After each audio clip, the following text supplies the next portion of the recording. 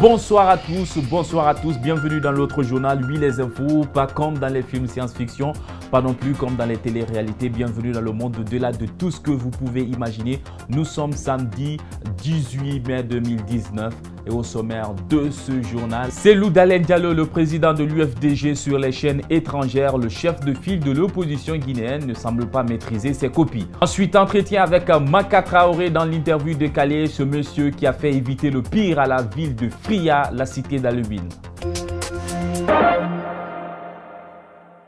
C'est une question à 500 millions de francs guinéens. C'est une devinette. Euh, ça va? On se suit là? Bien. Mes paroles sont souvent mal interprétées. Mon silence fait de moi un homme hésitant. Qui suis-je? Je pense que si nous réussissons à écarter Alpha Condé de la compétition, conformément aux dispositions constitutionnelles, on verra comment obtenir l'alternance. Notre chaos national était à Paris quand les autres visent l'intérieur. Lui, il vise l'extérieur pour son opération de séduction. C'est la troisième fois en deux semaines qu'il intervienne sur une chaîne étrangère. Des sorties médiatiques qui ont fait pleuvoir des réactions partout sur les réseaux sociaux, les bars cafés, les disettes entre copains et même pendant les repas familiaux. Non, je déconne. Sur France 24, la dernière chaîne qu'il a accueillie, il a été interrogé sur ses velléités modification de la, de modification de la Constitution et l'éventuel troisième mandat du président Alpha Condé. Il a dit ceci. Il faut dire que c'est devenu un secret de polichinelle. Aujourd'hui, il finance à grands frais l'organisation de Mamaya. Alors déjà, vous êtes face à Raphaël Kahan, et ce n'est pas Roger Koivogi. Il ne peut pas savoir ce que vous appelez Mamaya. Vous ne pouvez pas trouver un autre mot approprié? De grande messe. Ah, grande messe, ça c'est acceptable. On peut continuer.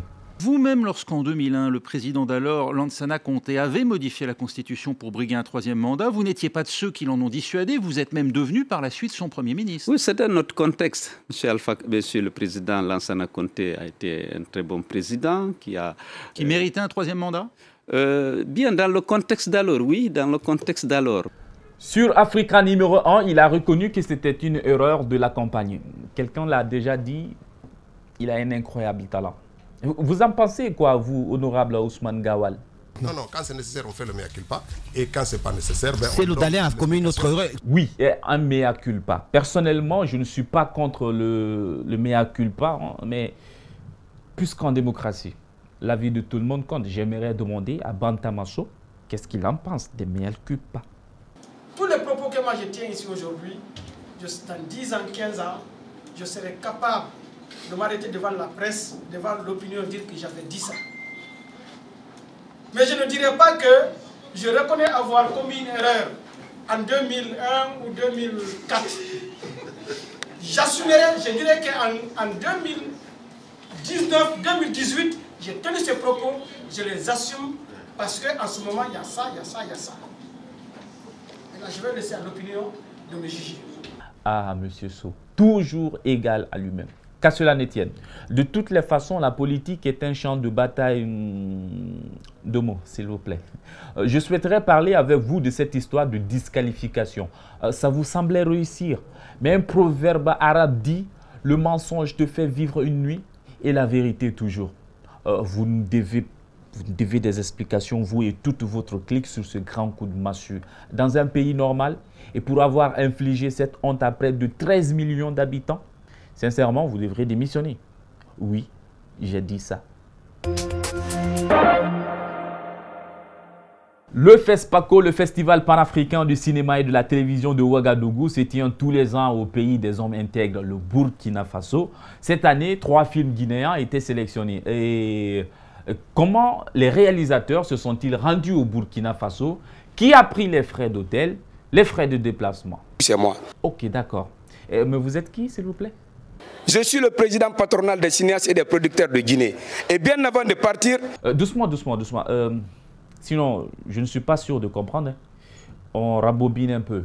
Donc, vous avez été accompagner ces jeunes réalisateurs, représenter la Guinée au FESPACO pour défendre l'intérêt du pays, euh, quoi, c'est ça? L'argent que nous avons mis pour le FESPACO est très petit. Nous, on a défendu l'intérêt de l'État. Eh, Madame Kadiatou Kamara, est-il vrai que la Guinée a été fièrement représentée au FESPACO par Kader Yamba? Les propos tenus par Kader Yomba Kone et sa démarche maladroite sont le fait de son ignorance. Nous ne l'en voulons pas. Mais simplement, il se fait passer pour un connaisseur. Hmm, Monsieur Kader Yomba, l'affaire là, elle devient très sérieuse. hein. Mais je ne dirai pas autant sur vous, puisque je ne sais plus euh, à quoi pourrait s'apparenter cette démarche. Madame, euh, vous voulez ajouter quelque chose? Sinon, si c'était un grand cinéaste, un vrai cinéaste, il n'allait même pas faire beaucoup de bruit. Les cinéastes en général ne font pas beaucoup de bruit. Le bruit, c'est sur le tapis rouge. Non, mais il s'agit quand même d'un grand réalisateur du pays. Il doit être récompensé. hein. Tu, tu es d'accord avec moi, Tierno Suleiman? Confirmé par qui? Ah, euh, je, vois que je me suis encore gouré. Bon, d'accord. Euh, laissons Kader Yomba. Parce que tu as beau vouloir changer le statut de ton chat à la maison, mais il restera toujours chat. Euh, C'est quoi la situation du cinéma à Gando? Le cinéma en Guinée a été enterré au même moment que Sékou Touré. Donc il faut qu'on arrête de parler du cinéma guinéen, d'autant plus qu'il n'existe pas. Attends, euh, tu ne serais pas un philosophe par hasard? Confirmé par qui? Imagine-toi sur un coin de la rue, sous un soleil de plomb, en plein ramadan, guettant un taxi pour te transporter à des rendez-vous. Et si tu ne maîtrises pas le système, je te le dis pour alléger ta peine, hein, le découpage de tronçons, tu peux t'attendre à, à ça.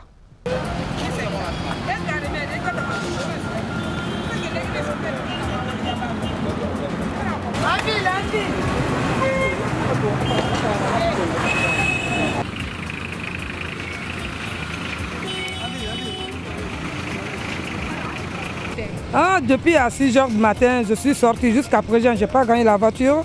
J'étais jusqu'à Dapumpa, je suis venu à, l'aéroport aussi, je n'ai pas gagné la voiture. Vraiment, ça ne va pas en Guinée. C'est très difficile avec les chauffeurs. Ils vont découper les transports jusqu'à l'arrivée en ville. Qu'est-ce qu'on va faire? C'est la Guinée. On ne peut rien. Tu prends la voiture, Yimbaya, tu vas aller en ville, on te dit Yimbaya. Tu t'embarques à Yimbaya, Yimbaya, on dit aéroport. Aéroport, à l'aéroport, vous débarquez, ils prennent encore euh, aéroport, Madina. Madina encore, ils débarquent les gens là-bas, ils continuent encore en ville. Donc ça nous fatigue énormément. L'État n'a qu'à venir au secours, sinon c'est pas bon pour nous. Et regarde ce, beau monde-là, ça nous fatigue énormément. J'ai fait une heure de temps, j'ai arrêté. Voilà. Et Tu vois non de quoi je te parlais hein? Des montées et descentes incessantes, des vilains chauffeurs et même parfois très insolents. Oh les pauvres. Oui, je sais que ce n'est pas facile, hein, euh, je vous comprends. C'est pourquoi je cherche bien à savoir s'il y a effectivement quelques paniers piégés pour ces rats de la circulation qui empestent la ville.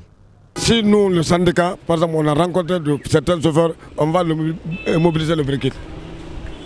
On dit les passagers, montez, nous ne descendons pas jusqu'à votre destination. C'est notre rôle. Euh, J'attends bien de voir ça. Hmm, euh, je vais me mettre dos au mur, regarder cela à distance. Il, il n'est pas l'heure de, de la pause là? Oui. Le temps de la réclame, on se retrouve juste après pour la deuxième partie.